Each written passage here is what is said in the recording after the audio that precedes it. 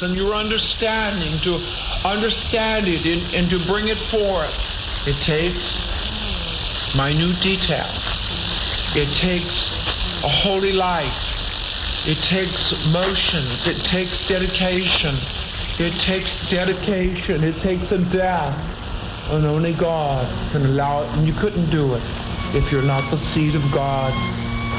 And so the path to the great corridors, these are corridors unto his perfection, that is, which the prophet, the Urim and Thummim, has penetrated. That through this great sea of blackness, that I penetrated through these corridors, and I went through that last segment where I went through these dark serpentines. I passed through that corridor where they sat, where they are. And when you penetrate to the Most High God, you will believe you're mad. You will believe you've gone insane. But I tell you, if you follow the secret window and you die to the ego nature, you will penetrate this darkness. Oh yes, there's many a man or woman that's been put in the sane asylum when this has happened to them. And they're sitting there today. People think they're insane, but they saw something that's real. See it when they're on drugs. The only thing is they see it not through the light of God. And the way I showed you, I showed you to see it through the light of God and the understanding of God. Because when you see the face of God, you will die. And there will be nothing left in you except the God man, the God woman, the heavenly man, the heavenly woman, the heavenly child. There'll be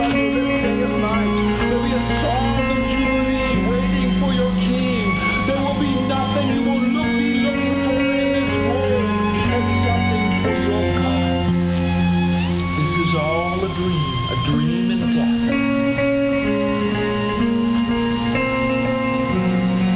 And so I went through that with you. I encountered hell and the great serpentines of the highest order. And I went through that when I showed you chart number three. The question is asked in Urim and Thummim Thumb and concerning the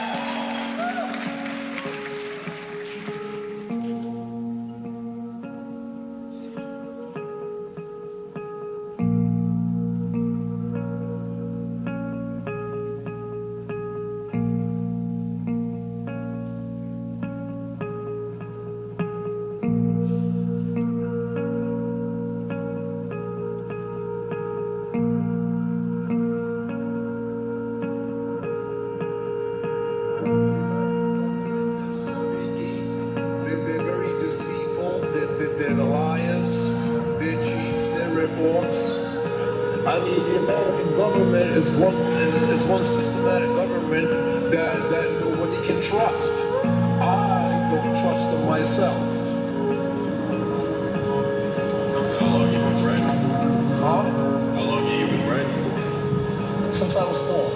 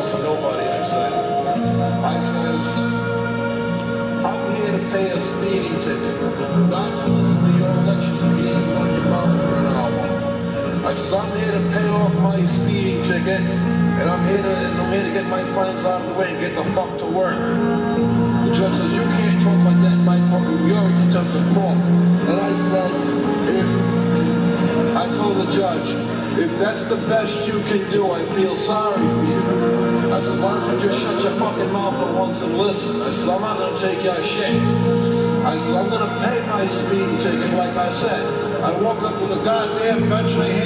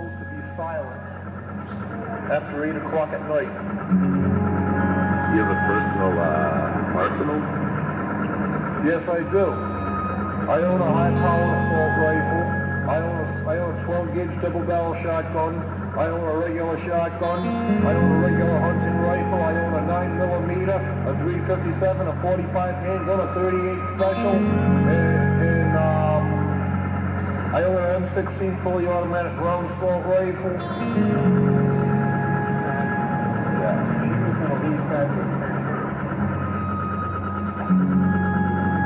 Think things are going to get better before they get worse? No way. Things are just going to get worse, and keep on getting worse. Like I said, America's a third world country as it is, and you know, we're, we're, we're just basically in a hopeless situation as it stands. What do you think this country's going to look like? You know, I'll tell you the truth, nothing against you guys, but I don't want to answer that question because I haven't even got a mind that's that, that inhumane. All right. You ready for what's coming? Ready as I'll ever be? Most people are. It's a real saying. Dates back to generations. Be prepared for anything at any time from anybody. Don't take no shit. Always stand your ground. People want to come up to me and run their mouth. Guess what? I'll throw them through the fucking window. I won't think of I won't think a thing of it. Oh. Would you mind reciting your poem for us? Not at all. I don't see why I sh- well, I don't see why I couldn't. There's an evil virus threatening mankind. is not a state of the art, it's a serious state of the mind. The fungus, the backstab is the two-faced to lead a menace to society, a social disease. To brainwash the mind is a social disorder. The cynics, the apathy, went up in chip. Watching beginnings of social decay, gloating and sneering at life's disarray, eating away your own self-esteem, pouncing on every word that you might be saying. To attack someone's mind is a social disorder. The Constitution, the government, martial law order. Superficially smiling, a shake of the hand as soon as your bag is turned treasonous plan. When every good thing's laid to rest by, by the government's hate, by the Constitution and their lies. And every time you think you're safe, and when you to turn away, you know they're sharpening all their knives. All in your mind, all in your head, try to relate it. All in your mind, all in your head, try to escape it. Without a conscience, they destroy. That's the thing that they enjoy. There are sickness ups in all of our minds. They want to sink the shit you the way they laugh at you me. You know it happens all the time.